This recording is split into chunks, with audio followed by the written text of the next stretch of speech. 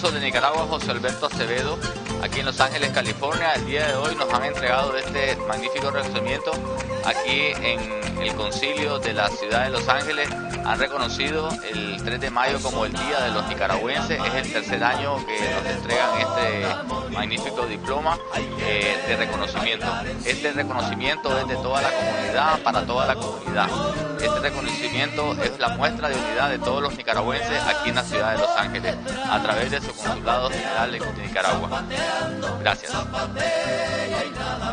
Hay que ver a doña Inés a bailar como zapatea a la vez y hace la cadera temblar por el consejo que le dan algo para igual para bailar para allá no te meneadito oye nada más cuidadito